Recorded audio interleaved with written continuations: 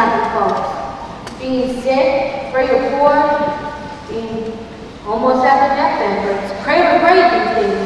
But you gotta be hardened. You gotta be. The only way to deserve a sweet tender life is if it's tough.